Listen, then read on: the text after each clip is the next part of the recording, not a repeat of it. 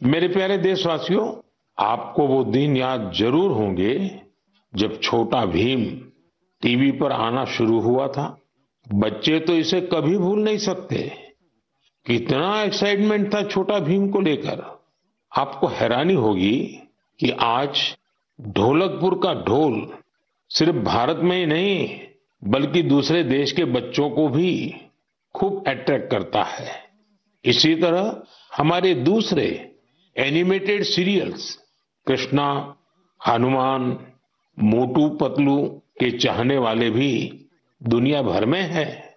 भारत के animation characters यहाँ की एनिमेशन मूवीज़ अपने कंटेंट और क्रिएटिविटी की वजह से दुनिया भर में पसंद की जा रही है।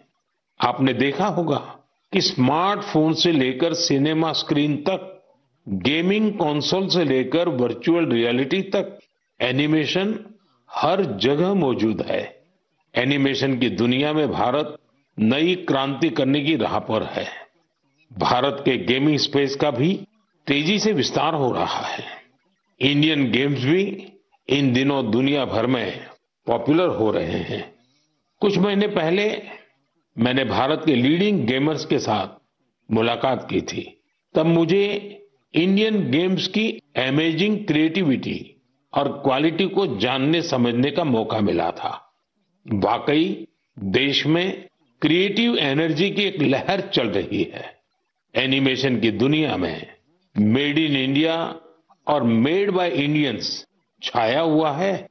आपको ये जानकर खुशी होगी कि आज भारत के टैलेंट विदेशी प्रोडक्शन का भी अहम हिस्सा बन रहे हैं।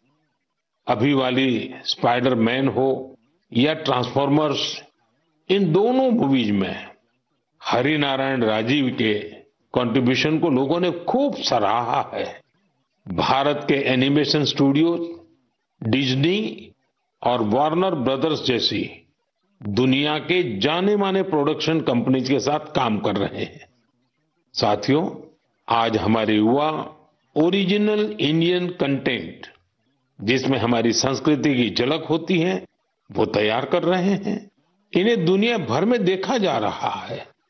एनिमेशन सेक्टर आज एक ऐसी इंडस्ट्री का रूप ले चुका है कि जो दूसरी इंडस्ट्रीज़ को ताकत दे रहा है।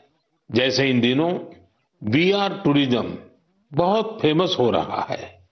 आप वर्चुअल टूर के माध्यम से अजंता की गुफाओं को देख सकते हैं, कोणार्क मंदिर के कॉरिडोर में टहल सकते हैं या फिर वाराणसी के घाटों का आनंद ले सकते हैं? ये सभी वीआर एनिमेशन भारत के क्रिएटर्स ने तैयार किए हैं। वीआर के माध्यम से इन जगहों को देखने के बाद कई लोग वास्तविकता में इन पर्यटन स्थलों का दौरा करना चाहते हैं। यानी टूरिस्ट डेस्टिनेशन का वर्चुअल टूर लोगों के मन में जिज्ञासा पैदा करने का माध्यम बन गया है। आज इस सेक्टर में एनिमेटर्स के साथ ही story tellers writers voice over experts musicians game developers VR और एआर एक्सपर्ट्स उनकी भी मांग लगातार बढ़ती जा रही है। इसलिए मैं भारत के युवाओं से कहूँगा, अपनी क्रिएटिविटी को विस्तार दे।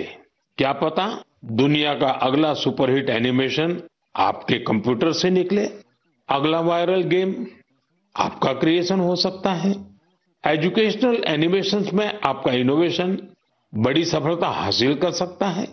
इसी 28 अक्टूबर को, यानी कल वर्ल्ड एनिमेशन डे भी मनाया जाएगा। आइए, हम भारत को ग्लोबल एनिमेशन पावर हाउस बनाने का संकल्प लें।